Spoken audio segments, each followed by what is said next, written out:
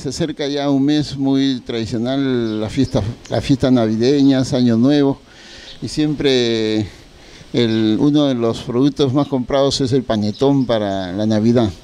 Nosotros como autoridad de salud lo que estamos este, tratando de prevenir justamente es el consumo de panetones de dudosa procedencia.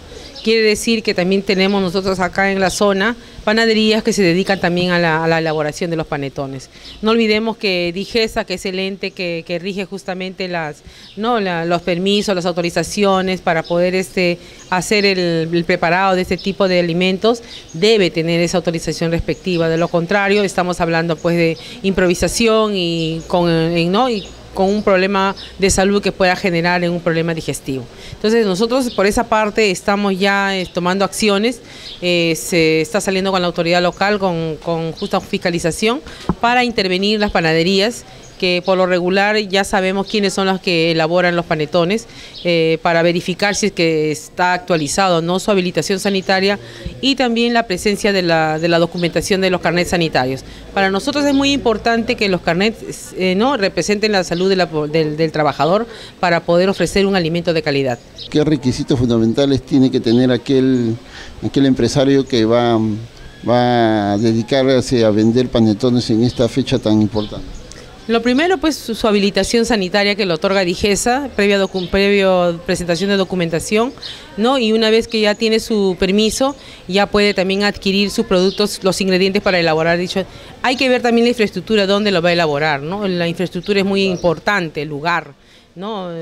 y todos los utensilios y equipamiento que necesitan justamente a base de, acero inoxidable, porque todo lo que es, es, para elaboración de alimentos está justamente con el uso del acero inoxidable.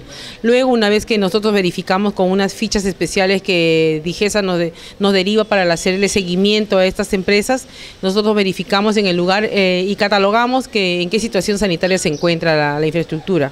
De, acuerdo a ello, eh, también verificamos este, los, ingredientes, que los ingredientes son fundamentales. A veces podemos comprar eh, a veces en cantidad por mayor y, muchas veces nos venden este, ingredientes que son inclusive de dudosa procedencia, que, eh, en vez de mejorar a, hacer un panetón de calidad, lo único que va a hacer es desmerecer el producto. En cuanto a los juguetes, también es una actividad también preventiva. Estamos, este, eh, estamos pronto, pero ya desde ya, este, darle las recomendaciones al comerciante, a los padres de familia, familia, a, ¿no? a, las instituciones que se dedican a hacer esta actividad del chocolatada con regalos navideños. Que tengan mucho cuidado. A veces el dinero, si bien es cierto, no está al alcance de, todos, pero eh, tenemos que cuidar también dónde comprar y qué comprar.